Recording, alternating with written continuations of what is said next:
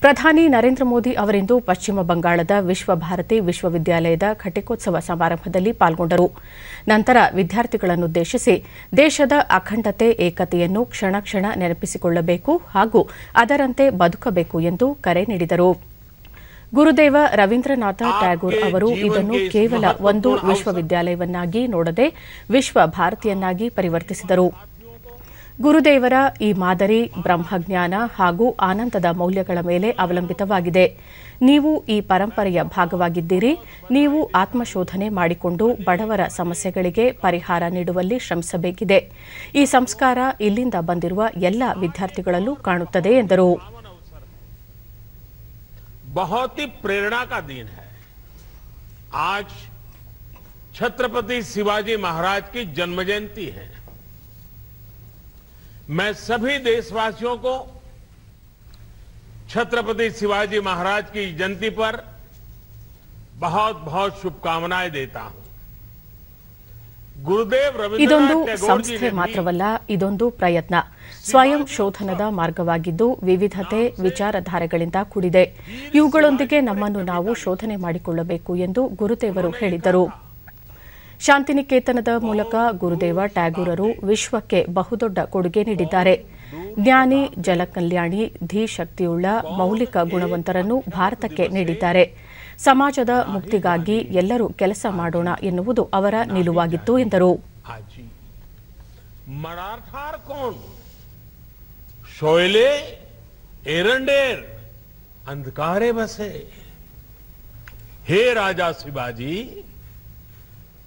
तब भाग। उद्यासियाए भावना। तैत प्रभावत ऐसे छिल नामी। एक धर्म राज्य पाशे, एक धर्म राज्य पासे खंड छिन्न विक्षिप्त भारत, बंधे दिव आमी। यानी एक शताब्दी से भी पहले किसी एक अनाम दिन मैं उस दिन को आज नहीं ಜ್ಞಾನದ जानता ಕ್ರಿಯಾಶೀಲತೆಗೆ ಯಾವುದೇ ಮಿತಿಯಿಲ್ಲ ಇದೇ ವಿಚಾರದೊಂದಿಗೆ ಗುರುದೇವರು ವಿಶ್ವ ಭಾರತಿ ಸ್ಥಾಪನೆ ಮಾಡಿದ್ದಾರೆ ಜ್ಞಾನ ವಿಚಾರ ಕೌಶಲಗಳು ನಿರಂತರವಾಗಿ ಚಲನೆಯುಳ್ಳವುಗಳಾಗಿವೆ ಜ್ಞಾನ ಮತ್ತು ಅಧಿಕಾರ ಜೊತೆಗೆ ಬರುತ್ತದೆ ನಿಮ್ಮಲ್ಲಿರುವ ಜ್ಞಾನ ನಿಮ್ಮದೊಂದೇ ಅಲ್ಲ ಅದು ಮುಂದಿನ ಪೀಳಿಗೆಗೂ ಆಸ್ತಿಯಾಗಲಿದೆ ಜ್ಞಾನಿಗಳು ದೇಶವನ್ನು ಮುನ್ನಡೆಸುತ್ತಾರೆ ಹಾಗೆಯೇ ದೇಶವನ್ನು ಕೆಳಸ್ಥಿತಿಗೂ ಇಳಿಸುವ ಸಾಮರ್ಥ್ಯ ಹೊಂದಿರುತ್ತಾರೆ ವಿಶ್ವದಲ್ಲಿ ಹಿಂಸೆ ಸೃಷ್ಟಿಸುವವರಲ್ಲಿ ಅನೇಕ ವಿದ್ಯಾವಂತರನ್ನು ಕಾಣಬಹುದು ಎಂದರು पंक्तियों में छत्रपति वीर शिवाजी से प्रेरणा लेते हुए भारत की एकता भारत को एक सूत्र में पिराने का आह्वान था देश की एकता को मज़बूत करने वाली, इन भावनाओं को हमें कभी भूलना नहीं है। पल पल जीवन के हर कदम पर देश की एकता, अखंडितता के इस मंत्र को हमें याद भी रखना है, हमें जीना भी है। यही तो टैगोर का हमें संदेश है।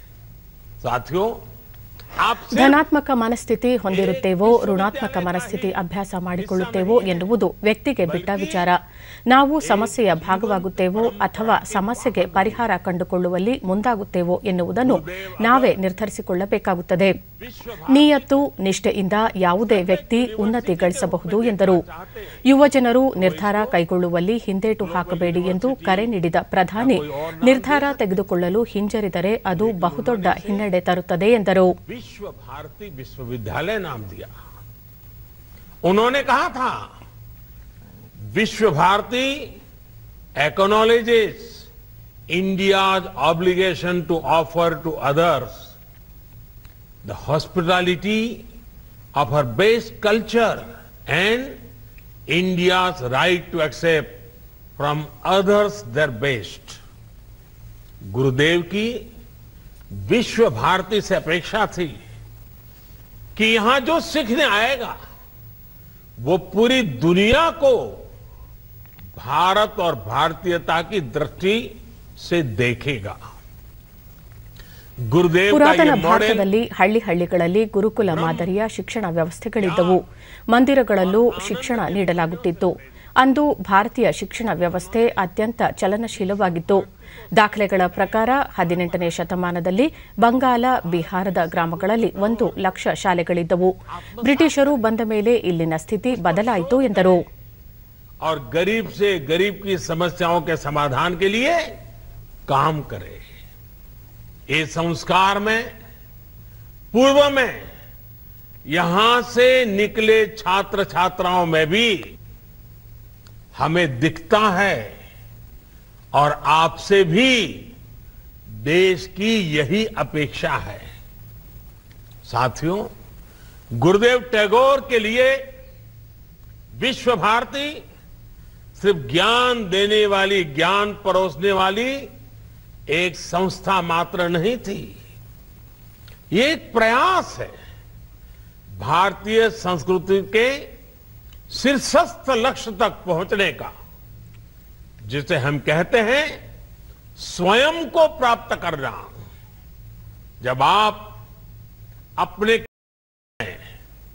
बुधवार को उपासना के लिए जुड़ते हैं तो स्वयं से ही साक्षात्कार करते हैं जब आप ನೂತನ ಶಿಕ್ಷಣ ನೀತಿಯು ಹಳೆಯ ಮಿತಿಯನ್ನು ತೊಡೆದು ಹಾಕುವತ್ತ ಆದ್ಯತೆ ನೀಡುತ್ತದೆ ವಿದ್ಯಾರ್ಥಿಗಳಿಗೆ ಬೇರೆ ಬೇರೆ ವಿಷಯಗಳನ್ನು ಅಭ್ಯಾಸಿಸಲು ಸ್ವಾತಂತ್ರ್ಯ ನೀಡುತ್ತದೆ. ಉದ್ಯಮಶೀಲತೆ, ಆವಿಷ್ಕಾರಿ ಮನೋಭಾವವನ್ನು ಉದ್ದೇಪಿಸುತ್ತದೆ. ಆತ್ಮನಿರ್ಭರ ಭಾರತ ಸೃಷ್ಟಿಸುವಲ್ಲಿ ಮಹತ್ವದ ಪಾತ್ರ ವಹಿಸಲಿದೆ. ನೂತನ ಶಿಕ್ಷಣ ನೀತಿಯಲ್ಲಿ ಬಾಲಕಿಯರನ್ನು ಸೇರ್ಪಡೆಗೊಳಿಸಿಕೊಳ್ಳುವಲ್ಲಿ ಆದ್ಯತೆ ನೀಡಲಾಗಿದೆ ಎಂದರು. ಈ ಬಾರಿಯ ಬಜೆಟ್ನಲ್ಲೂ ಸಂಶೋಧನೆಗೆ ಆದ್ಯತೆ ನೀಡಲಾಗಿದೆ. ಇದಕ್ಕಾಗಿ ಐವತ್ತು ಸಾವಿರ ಕೋಟಿ ರೂಪಾಯಿ ಮೀಸಲಿಡಲಾಗಿದೆ. ಭಾರತೀಯರ ಕಣಕಣದಲ್ಲೂ ಮಾನವೀಯತೆ, ವಿಶ್ವಮಾನವ ಭಾವನೆ ಇದೆ.